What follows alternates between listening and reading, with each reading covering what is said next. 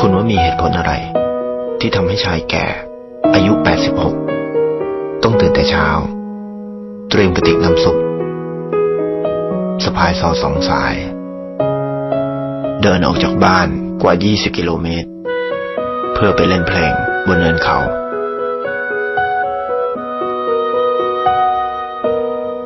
แกทำแบบนี้ทุกวัน เป็นเวลากว่า 30 ปีมาแล้ว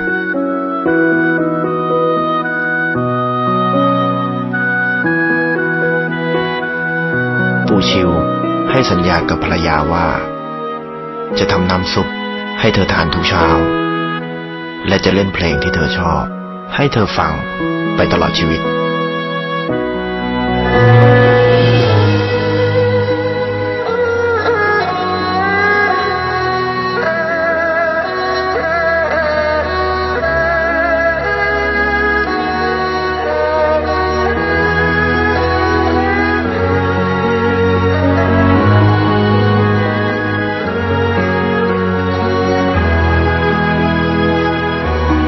นั่นคือเรื่องของปู่ชิวสำหรับคุณลองถามตัวคุณเองดูไหมว่า คุณดูแลคนที่คุณรักมากแค่ไหน ไทยประกันชีวิต